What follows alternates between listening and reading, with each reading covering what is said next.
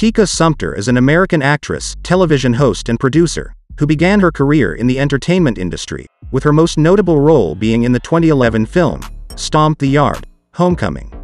She was born on June 20, 1980, making her 43 years old as of 2023. Throughout her career, Sumpter has appeared in multiple films and television shows, including The Haves and the Have-Nots Ride Along, and Southside with You. She is well known for her portrayal of Michelle Robinson, the future First Lady of the United States in the 2016 film, Southside with You. Tika Sumpter has been married to actor and comedian Nick James and together they have a daughter. She has been open about her experiences as a single mother. As of 2023, Tika Sumpter's net worth is estimated to be around $9 million. She continues to be active in the entertainment industry, working as an actress, television host and producer. Subscribe to World Celebrity Island.